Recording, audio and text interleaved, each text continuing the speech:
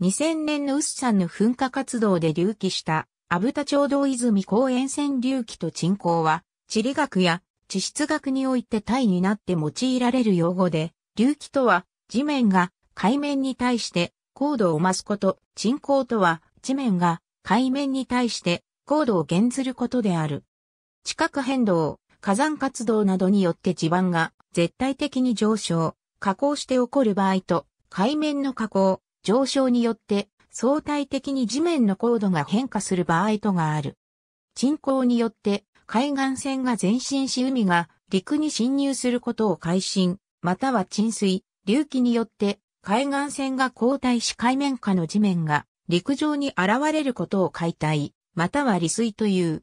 また、表記には世界的に解体し、魔表記には改心するが、こちらは気候変動による隆起と沈降である。隆起により山、山脈が形成されることを作り山運動と呼ぶ。ヒマラヤ山脈、丹沢山地がその例である。隆起が起こると侵食基準面が相対的に下降し、侵食力が復活する。小氷期地殻隆起とは、氷河の交代が原因となって起きる地殻隆起を指す。